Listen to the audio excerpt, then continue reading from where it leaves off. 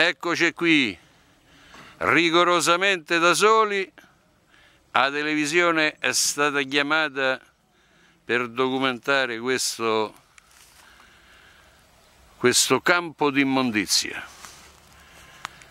Poi da piedi ce n'è proprio a go-go. Ora, naturalmente, naturalmente, questa è una proprietà privata, eh, chi chi è queste parti la riconosce. Eh, non è che il comune possa venire qui a pulire dentro le proprietà dei cittadini, eh, però eh, gli potrebbe fare un colpo di telefono, potrebbe fargli una letterina, dice guarda che la proprietà tua sta diventando un immondezzaio. Ecco, cerca di provvedere perché insomma è una questione di decoro generale. Eh? Ecco qua. Eh guarda lassù all'ingresso che c'è sta.